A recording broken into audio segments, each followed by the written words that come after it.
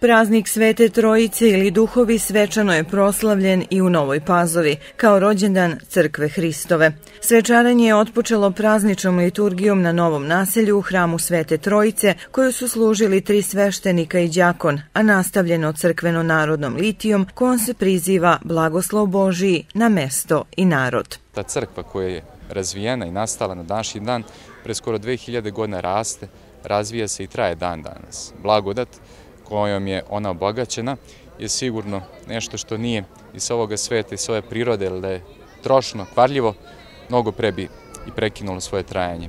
Mi smo zahvalni Bogu upravo na takvim blagodatnim darovima. U Litiji koja se kretala ulicama Nove Pazove od hrama Svete Trojice do hrama Svetog Sisoja u centru mesta, učestvovalo je nekoliko stotina vernika, članovi kulturno-umetničkih društava, sportskih klubova, pripadnici policije i vojske, odnosno 204. vazduhoplovne brigade u Batajnici. Iz godine u godinu Svete Trojice okupljaju sve više novopazovčana, što je veliki blagoslov. Mi smo oblagodaćeni darovima Svetoga Duha, upravo u crkvi prepoznali jednu takvu ideju i razvijamo je dan danas i dokle god nam srce kuće, mi ćemo ovim praznicima da se radujemo i svake godine čini mi se sve više i više.